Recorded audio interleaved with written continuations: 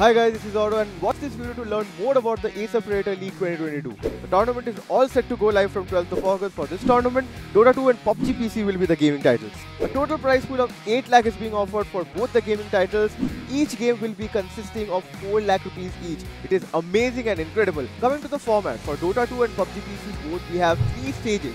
Open qualifiers, playoffs and grand finals. For Dota 2, only 4 teams will be qualifying from the registered teams to the playoffs and the top 2 teams will get a shot at the grand finals. For PUBG PC, there will be 32 teams, they will be playing the playoffs and from there only top 16 teams will qualify for the grand finals. And of course, the grand finals will be a LAN finale in Bangalore. And now the winning team from PUBG PC will have a shot to represent the nation in Japan. Registrations are open for both the gaming titles till 11th of August. Check out the link in description to register. Further details about the event and the LAN qualifiers, follow us on our socials. The links are also given in the description.